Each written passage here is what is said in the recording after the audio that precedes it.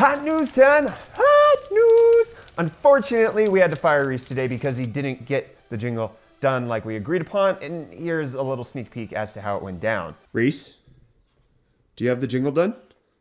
No. What do you mean, no? Get out of here! You're Reese's Pieces! Be gone! Get out! Boy! Go! How dare you! So, hot news, but no jingle for now until Tank can get it done, right, Tank? Okay, so housekeeping out of the way, time to toe wrangle right into the first topic. Have you ever found yourself really wishing that your phone had more cameras? What's that? You already have the Huawei P20 Pro with three rear cameras? That's sad, because it seems like LG will be dropping the mic with the LG V40 by giving it a total of 40, I mean five cameras. I mean, there's not much more to say about it than that. It appears that you'll get two on the front, three on the back, and it'll also have Face ID while also having a notch display. It's LG. They hop on the gimmick train with their flagships more than most companies I've seen. So a bajillion cameras seems right up their alley. And then up the alley of Vivo, the company that just released their bezel-less phone, they've got big plans for face detection for Android phones. They announced today that they have a 3D depth sensing system with 300,000 sensor points for making sure they can map every single one of your pores. This is especially impressive when you consider that Apple's Face ID tech only has 30,000 sensor points. That's not even enough for the pores of my nose, Apple. Vivo is claiming that their tech can enable 3D mapping of objects from up to three meters away and detects how long light takes to get back to the sensors once it's emitted from the same sensors. There's no timeline on what it'll be in a phone, but Vivo says that it's no mere proof of concept and they likely will be able to take on the discarded fruit giant in the near future. Then, speaking of detection, it's time for today's segment of Creepy Companies. So we're a couple days late on this news, but forgive us. It's something that's still so creepy that we had to bring it up. New York Times put out a piece on seven creepy patents that Facebook has that will likely make you reconsider whether you want to keep using their platform. Some of them are more benevolent and not that creepy, like using pictures and status data to determine who's in a relationship with who, as well as classifying your personality based on how you engage with their platform. That makes sense. The weird ones come to play with something like predicting life changes based on things like your credit card transactions and location to see if you're about to have a baby or graduate.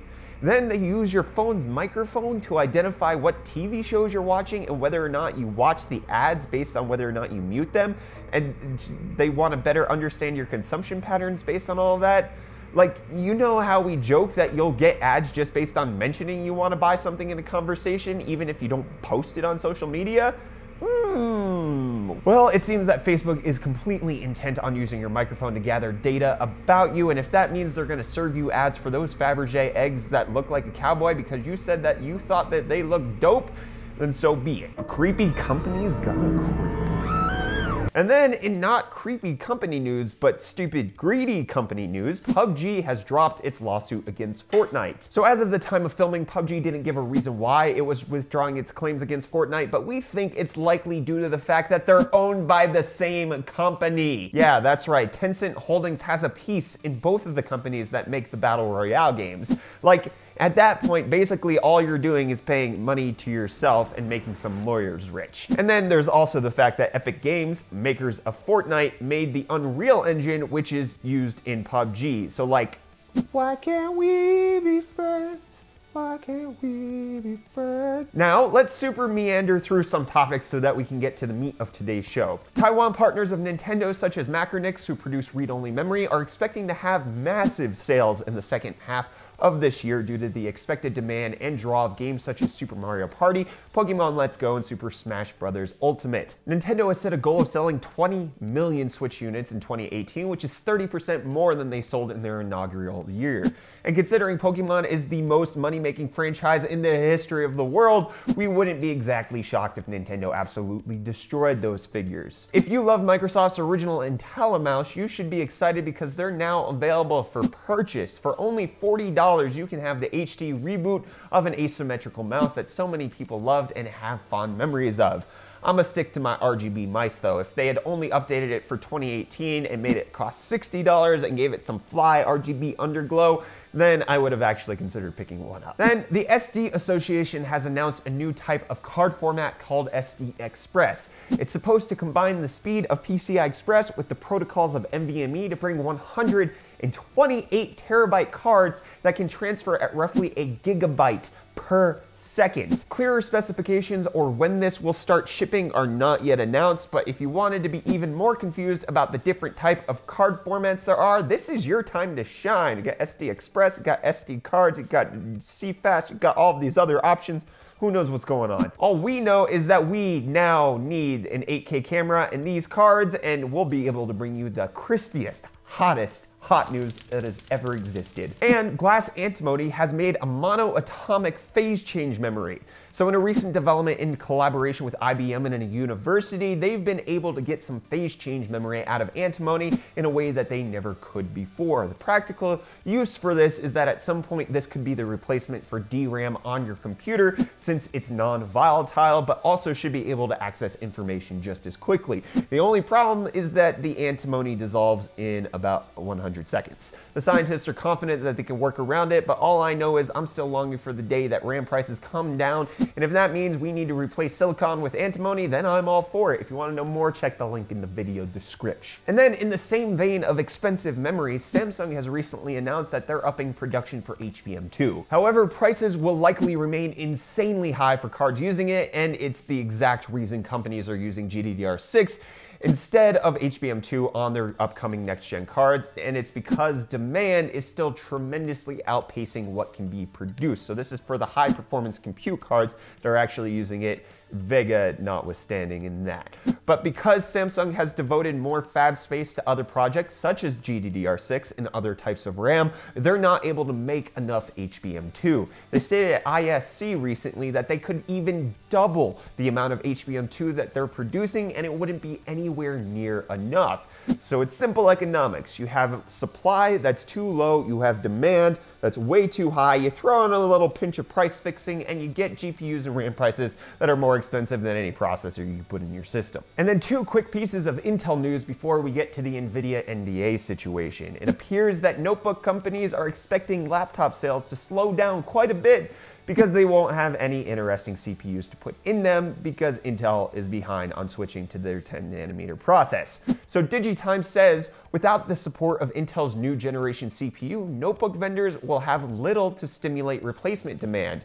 All they can do is to focus on promoting gaming and business use notebooks while continuing to lower costs for consumer models by suspending the incorporation of innovative applications and functions originally designed to go with Intel's new CPU. You see, friends, this is what happens when one company spends too long at the top. Everyone gets complacent using only them, and then when they start to suck, you've forgotten how to have options and use the alternative. Also, it doesn't help that the alternative isn't really trying to push mobile processors and that they're, you know, combining with the biggest force. Otherwise, they might have a real big opportunity on their hands here. And then there's a rumor out of WCCF Tech that the next round round of CPUs will include an i9 on the normal desktop platform. They're expecting that the 8-core 16-thread CPU will be named the i9-9900K and can be placed on the Z390 chipset. And as much as people don't like WCCF Tech as a source, this sounds kind of like the stupid crap Intel would pull. I mean, with the Coffee Lake mobile release, they decided to call the unlocked i7 an i9, which is an absolute giant piece of molasses malarkey. It's just an overclockable i7. Don't call it an i9, it's not. And so if the rumor is to be believed, it looks like Intel will solely be relying on the marketing hype of users getting to buy an i9 instead of a Ryzen 7 2700X for driving sales because the i9 is not gonna be any different than the Skylake 6700K that came out earlier except for it has double the cores. Doesn't it feel so good to know that instead of actually getting their process technology sorted out, which they've been struggling with since 2015, that they've just decided to make you feel better about buying their same old CPUs instead. Like this is just a Skylake rebadged a couple of times over with eight cores. But oh wait, they actually released that last year. It was called the i7-7820X. They didn't even call it an i9 back then. But now you get to feel amazing because you'll have an i9 9900K in your normal ATX system. Feel proud Feel bold. Feel intel inside of your veins. Now, let's transition over to more dominant company news. There's outrage over NVIDIA's NDA that it's been recently sending out to media. Now, let me preempt your comments. I know about the Gamers Nexus video. Yes, you should definitely watch it. Go watch it up there. I'm linking to it. It's useful, it's good, and I recommend it. But for those of you who have no idea what I'm talking about, let's get into the details. Recently, it seems that NVIDIA has been trying to refresh their non-disclosure agreements that it's had with various media outlets, and some of these outlets have decided to take issue with it. Heise of note from Germany is causing a lot of the hubbub here, and it feels that it's an attack on their journalistic work. So, some things to note about the NDA so we can understand why Heise feels like NVIDIA is trying to destroy their integrity. It appears that companies were given only two days to sign the NDA, and then it has phrasing such as using confidential information solely for the benefit of NVIDIA, and the NDA has a shelf life of five years, meaning you can't disclose information for five years after NVIDIA gives it to you.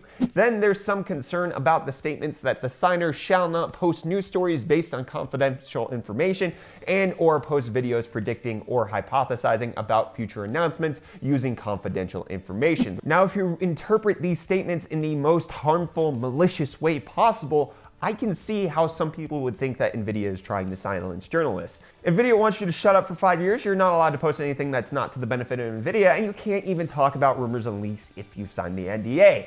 How could NVIDIA even think this is okay? There's no way they could sign this and retain any sort of integrity because that would mean that they could never post anything against NVIDIA. I get that perspective. I understand where Heise and other entities and commenters are coming from when they oppose this. But from my perspective, this actually isn't a big deal at all. First of all, solely for the benefit of NVIDIA simply means that the confidential information is for their benefit. You can't disclose it to other parties because it's NVIDIA's information and they benefit from it. It means nothing about if you can give something a positive review or not. A review isn't based on confidential information once it's posted because at the time it's posted, the confidential information goes from being confidential to being in the public perception and then isn't actually confidential anymore. That's why there's embargo lists so that confidential information doesn't remain confidential information forever. Take a shot every time I say confidential information. However, if NVIDIA decides to never lift the embargo or doesn't give you a date that you can disclose the confidential information,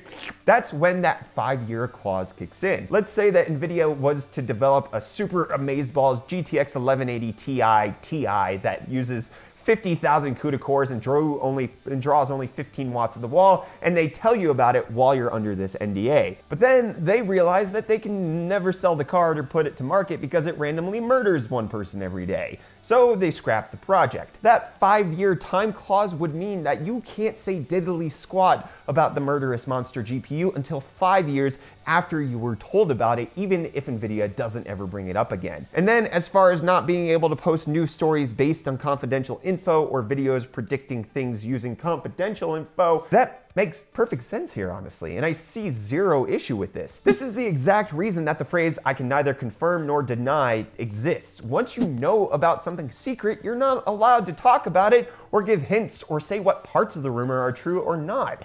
That's the whole thing about it being confidential information. As soon as you start giving any indication about the truthiness of various rumors or future concepts, then you start making it less confidential. NVIDIA is trying to protect their intellectual property and make sure that they can launch things without having a bajillion leaks all over the place. This is a standard practice by any company. They want to protect the things that they've worked so hard on. NVIDIA should be allowed that right even if you don't like how they are so big and so amazing or terrible or however you view them. And you can't take the past transgressions of the GPP and apply it to something that's so benign. So the outrage over the NVIDIA NDA seems much to do about nothing to me. Everyone's carrying on like it's a foreboding albatross for GPP Edition 2.0 when it's really a run of the mill NDA. I've signed countless NDAs with other companies that look exactly like this one, and they weren't trying to pull the wool over anyone's eyes. They're just trying to protect their information until it becomes public. Public. That's the whole point of signing these. You can't disclose information until we say it's public. And then the agreement gives indication that the signer can exit at any time they want and will no longer be held to conditions, which is not something a shady entity would do. They'd write an in perpetuity clause in there. But also, that's the reason that a five year clause is in there. You can't go on and say you're out of the NDA and then go spilling the secrets of everything you learned in the two weeks that you were under it. You would have to wait until five years or it becomes public information before you can even start talking about it. That just makes perfect sense. So, in summary, I can understand the outrage, but I don't agree with it or share the same perspective. Again, check out the Gamers Nexus video on the matter if you want a deep dive on it because they spoke to an actual lawyer about the terms in the NDA and they were equally underwhelmed with the outcry about it. And I haven't signed the NDA with NVIDIA, so don't worry about that at all. Like, I'm still gonna be posting rumors. Yay! You all love them so much. And that's where I'm going to end today's show. If you like this video, you like what I'm trying to do on this channel, hit that like button. If you're new here, hit that subscribe button so you don't miss out on these daily videos. But that said, of course, as always, my name is Brett Stickle Monster. You've just been Stickle Monster, and I love your faces, and I'll see you tomorrow.